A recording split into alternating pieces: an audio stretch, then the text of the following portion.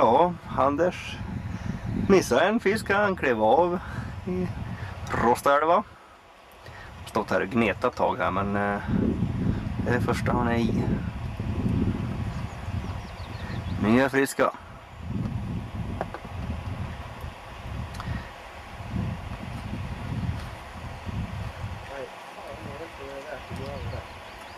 Det finns ett eh, djuphål som det ser ut här uppifrån. Precis där jag riktar kameran nu, centrum i bild. Där bör det stå fisk och det var väl där han var i den också här, förstår jag. Henrik. Där är lång där. Och det står fler fisk där så att eh, jag vaktar väl lite grann och kikar lite grann hur det går för Anders. Ja Lars-Erik, var är vi nu då? Ingen aning. Nej, en rostmålare. Var är vi? Det är Rostälva här. Brusar på så härligt. Då lär vi nästan titta då.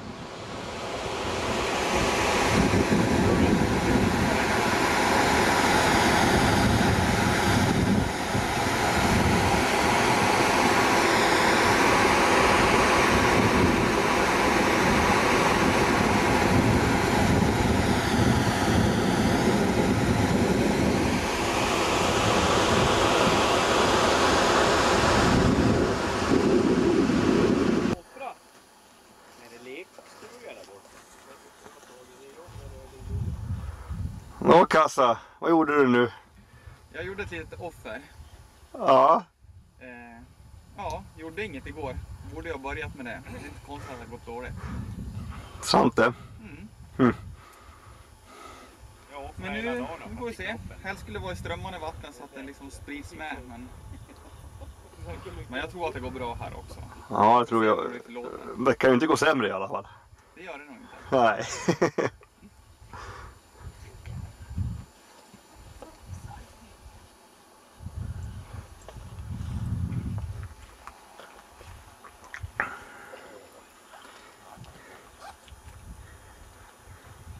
det tror jag inte göra. Perfekt spinnfiske.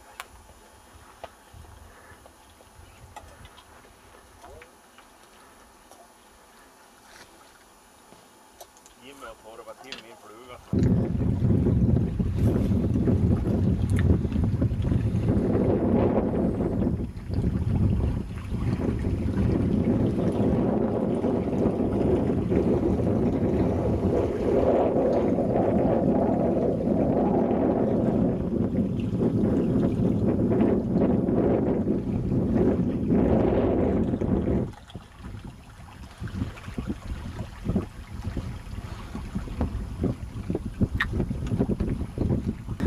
Ja, så här kan det ju också bli då.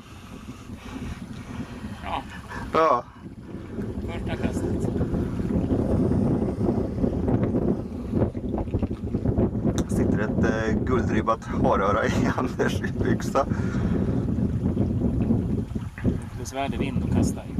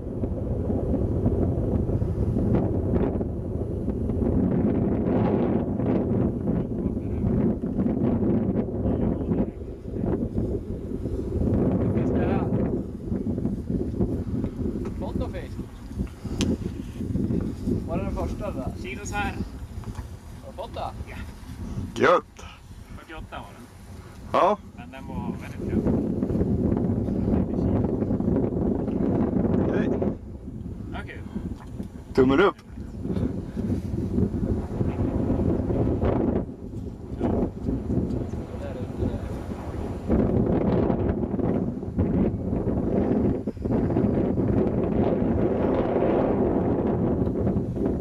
Ja, som synes så är det ju här fjällfisket är en hård bransch. Efter en stadig bit mat här nu så tar vi lite siesta.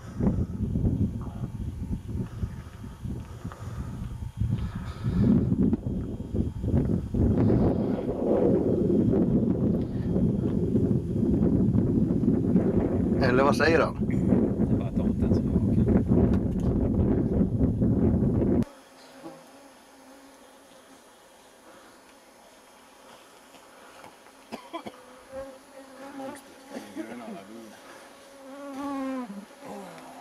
Får man sitta bredvid du?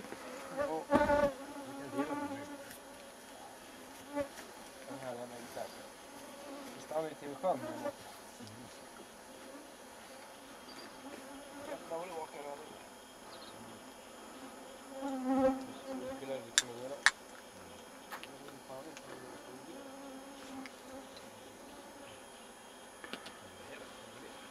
Va? Med myggen?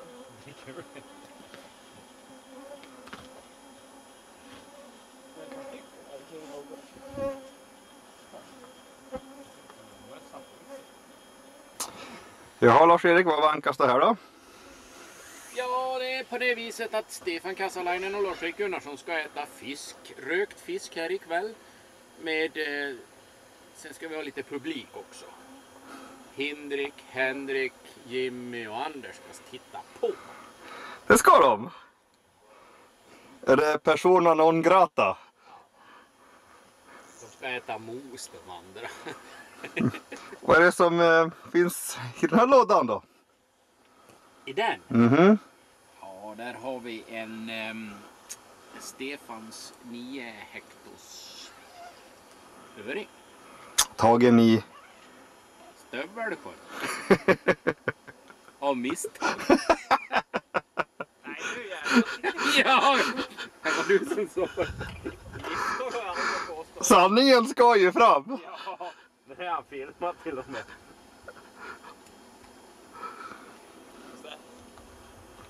Nej du, han fan har köpt för jävla sprit. Det brinner ju inte en gång.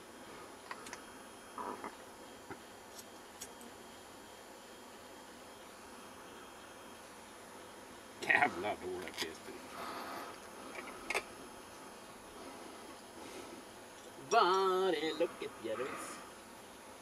Sen har vi lite mygg på det här också. Jo, de var inte så snälla ikväll. Nej. Det är därför vi ser ut som små gröna män.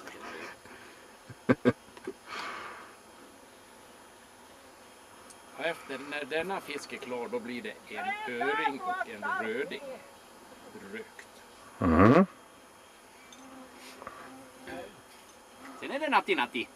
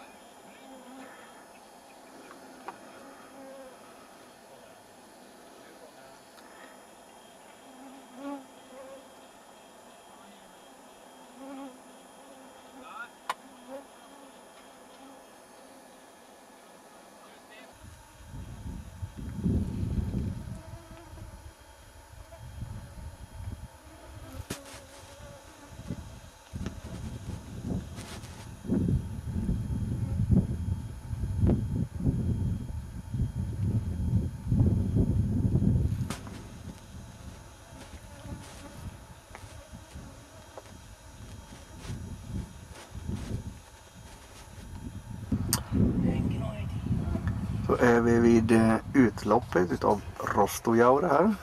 Här börjar Rostaälva, norsk sida. Precis börjat fiska. Sett en del vak. Börjar kläckas lite dagsländer.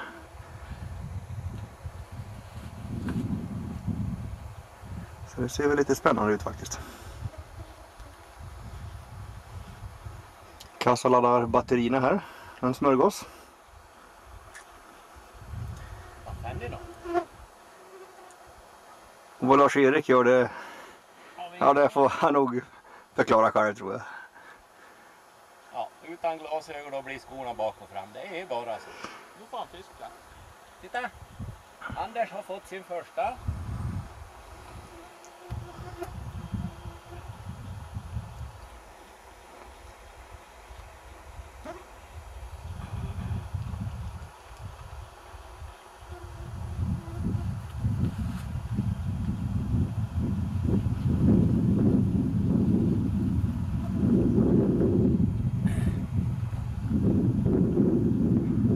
haj. Se på ett leende. Där.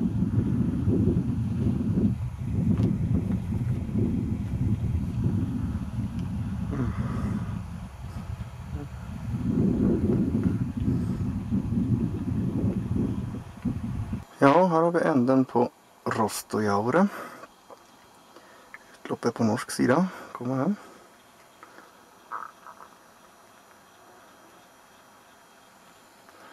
Där står Lars-Erik.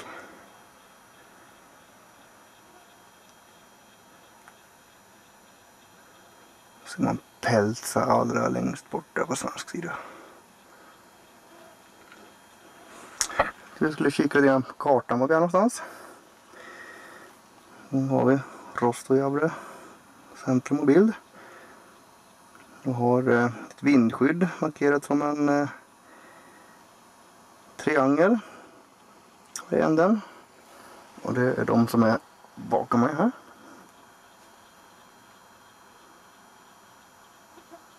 Ska vi knalla in? Välkommen till Stadsskogs och Troms. Vi går väl och kikar lite.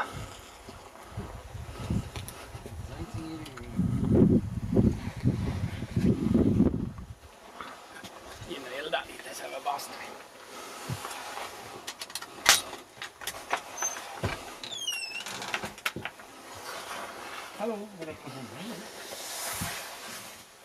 mig.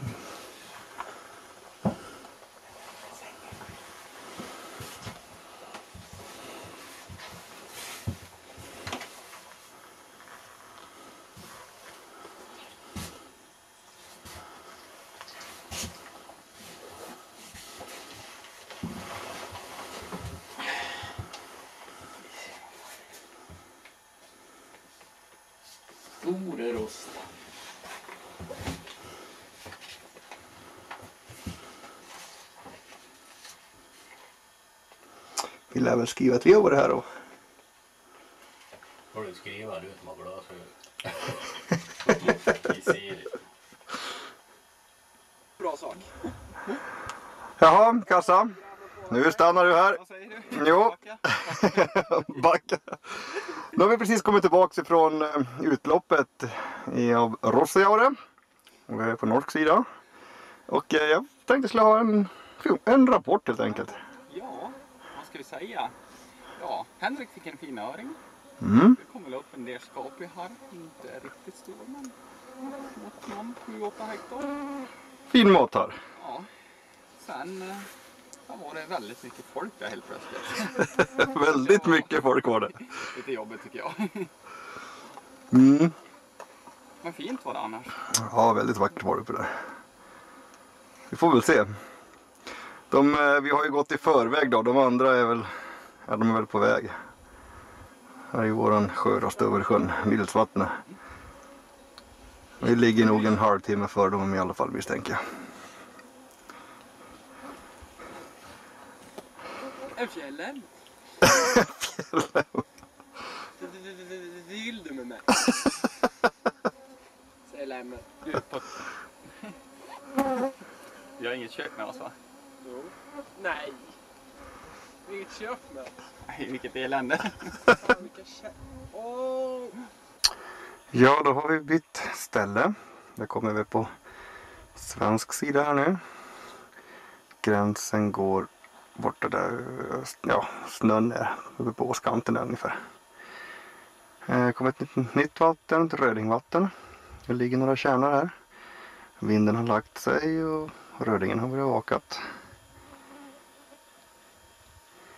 Får vi se då vad som, vad som händer. Det är, ursäkta uttrycket, jävligt mycket mygg ute. Lite jobbigt faktiskt. Men men, det finns medel mot det också. Här har vi Henrik tror jag. Ja.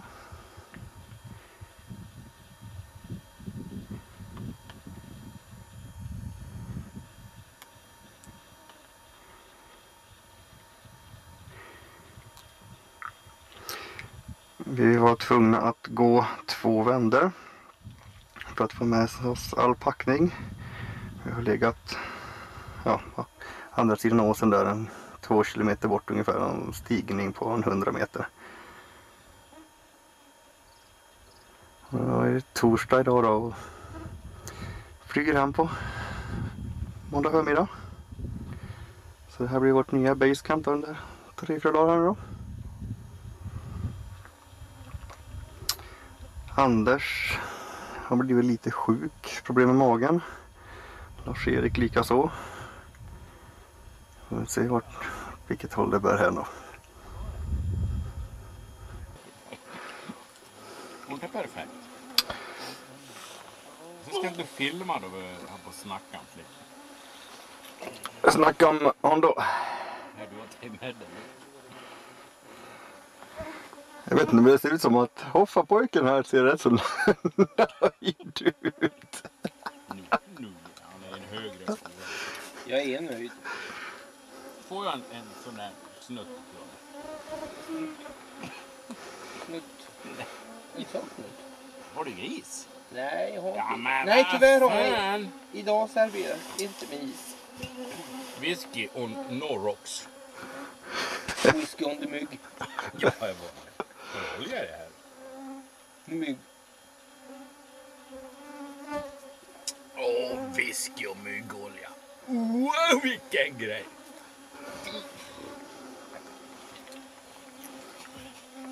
Hörru du filmmaker, kan du gå och hämta ett par pilsner till så kan vi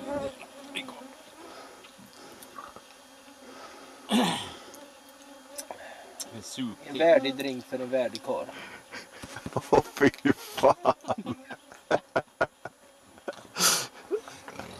Så är det. Vi sup-te på morgonkröken och klockan är halv fyra. Vad säger du Eva? Nej, en blir så jädra snurrig i skallen. Ja, på ett menar jag. Ja. Som förr. Ja, nu är vi på vandring ner mot Sarjasjokka. Riktigt ökenlandskap här. Besvärligt att gå. Och ner dit ska vi. Är det tänkt.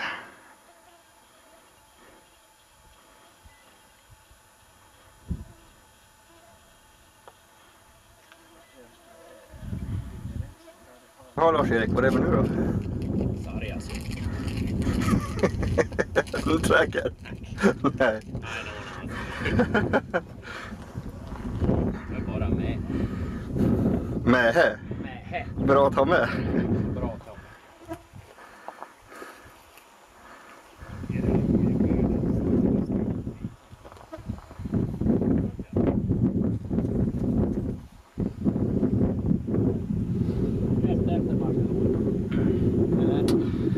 Där har vi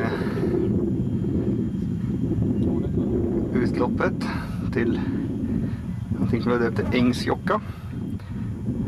eh, rolig jock med både röding och harr. Lungflytande är djup. Fisk upp till halvkilo i alla fall. Jävligt roligt. Sen i bakgrunden där, som jag ska zooma in, har vi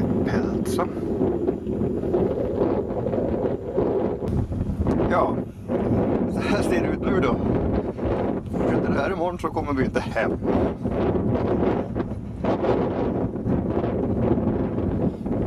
Vem är det här?